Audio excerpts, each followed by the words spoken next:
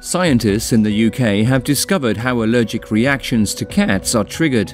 Cat dander, the microscopic pieces of dry skin cells, often accompanied by dry saliva from grooming, is the most common cause of cat allergy. It contains the Fel d 1 protein, which can trigger an allergic response. It was discovered that the body's inflammatory response to the cat protein Fel d 1 is intensified by the presence of environmental bacterial toxin LPS. LPS contaminated Fel d 1 triggers the Toll-like receptor 4, an important protein in the activation of the innate immune system. A drug was used to inhibit the TLR4 response.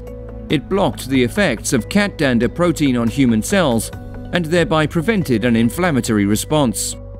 Drugs have already been developed to inhibit the receptor TLR4, which could lead to new treatments for cat and possibly dog allergy sufferers. Subscribe now and never watch boring news again.